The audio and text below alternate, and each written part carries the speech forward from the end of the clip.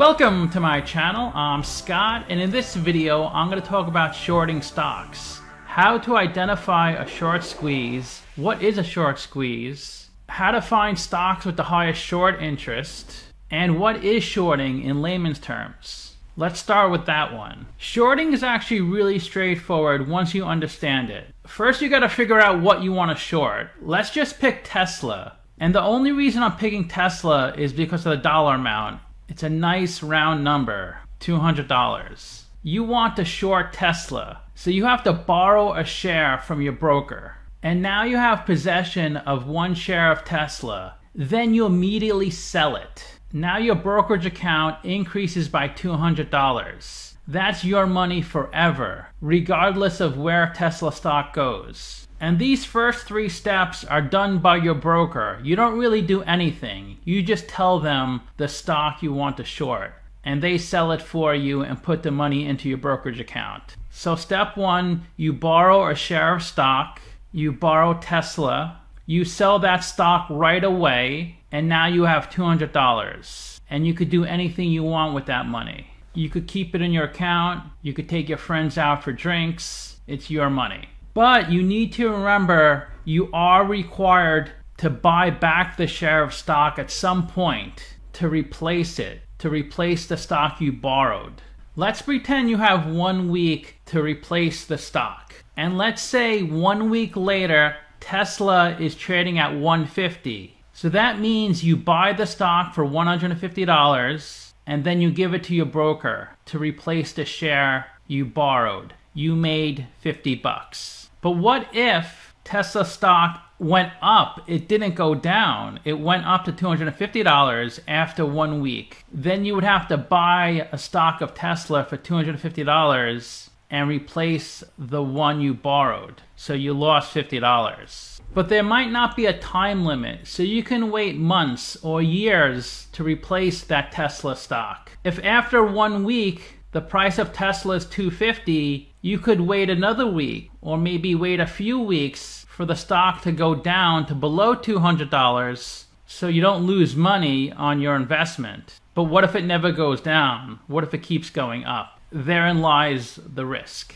Now that we understand what shorting is, let's try to find some stocks we want to short. Here are two good websites to look at. I'll leave the sites in the description of the video. If you want to know what stocks have the highest short interest, you go to this website and you can see Fisker is number one at 47%. Some names you're probably familiar with Carvana, Plug Power, Sirius, Kohl's. Here's Groupon, they have a 26% short interest. Let's use this as our example. If you go to this website, you can pick any stock you want and see the short interest. This is the NASDAQ short interest website. You could just type in your ticker symbol here. They do list the most viewed short interest stocks, so this could give you some more information. But let's just go back up and type in GRPN for Groupon. And this provides a settlement date, the short interest, the average daily share volume, and days to cover. So I'm just going to take a picture of this screen and bring it into Excel. Now let's go through each column so we know what it is. Settlement date. You can see they list two settlement dates a month. This is when the buyer must return the shares to the seller.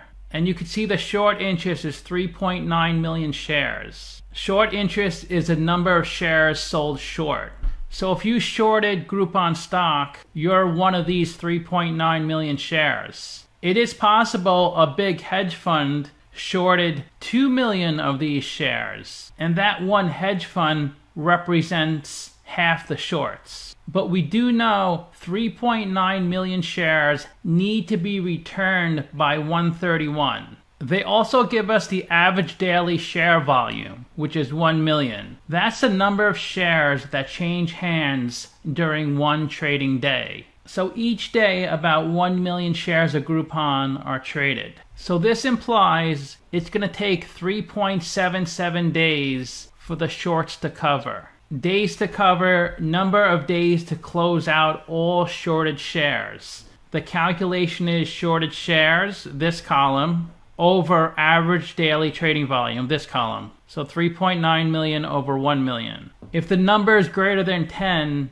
that could be an indication of a short squeeze. When the days to cover is really low, like it would be in a stock like Microsoft, then there's not too much of a risk of a short squeeze. If you go to Yahoo Finance, you can see there's 39 million shares outstanding for Groupon. And they also list the average trading volume. So for the past three months, they averaged 900,000 shares a day. So if there's 39 million shares outstanding, how come only 1 million or even less, according to Yahoo Finance, 900,000 are traded each day? Because a lot of people buy the stock and hold it. Some people hold it for many, many years. So, of the 39 million shares outstanding, 38 million shares are not traded. And if you look at their float, it's only 17.5 million. Float are the number of shares out in the market. So there's 20 million shares that are locked up. Those 20 million shares not on float are usually held by insiders or certain prominent investors who don't sell the stock who have to hold the stock for a certain number of years. The lower the float, the higher the chance of a short squeeze. Because the less shares out in the market, the more volatile the stock can be. So even though there's 39 million shares outstanding, on a given day, only 17.5 million can be traded. But a lot of people are just holding their stock, so only 1 million shares are traded each day on average. Let's say you were tracking a stock for a possible short squeeze, and you saw the short interest was 1 million, the daily volume was 1 million. So there's not much of a chance of a short squeeze because you do know 1 million shares need to be purchased to cover their short and there's already 1 million shares being actively traded, so the shorts can easily cover. Let's say next month the short interest triples. Now there's 3 million shorts, and the daily volume stays the same, around 1 million. Now it takes 3 days to cover the shorts. So it's getting a little more interesting, but it's still not there. You want it to be a bit higher, at least 8. Let's pretend the following month the hedge funds apply a lot of pressure on the stock, and now 9 million shares are being shorted. It triples.